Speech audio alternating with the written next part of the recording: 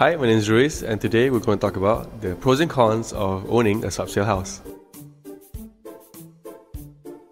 So, a subsale house is a house previously owned by a different individual that has now been put on sale uh, in the secondary market. So, in a way, it's like a pre loved house. So usually you can find subsale houses on property portals posted by real estate negotiators, real estate agents, or even by individual homeowners themselves. Also, you can go around to housing areas, look for for sale signs with contact numbers to ask about the house. So what are the good things about buying a subsale house? Well, number one, you can physically touch it, see how the house is, see the condition of the house.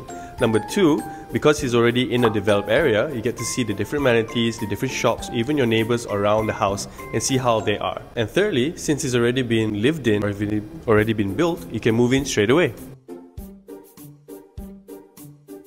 So there are some cons to owning a subsale house. Like number one, you'll be inheriting the bumps and bruises left by the previous owner since it's already been lived in.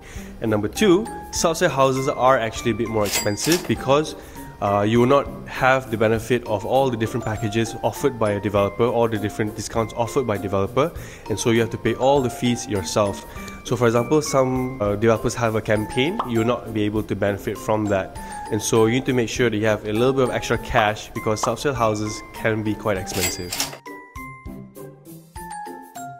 Unfortunately, you can't claim any reparation costs from your owner. All the bumps and bruises will have to be repaired by you using your own money from your own wallet.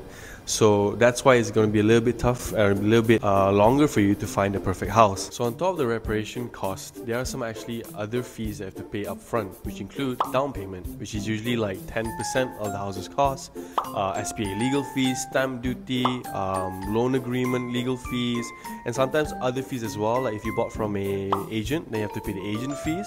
You have to get fire insurance, and of course the reparation costs. Um, so all this kind of amount to a large amount. So make sure that you save up and have enough dough.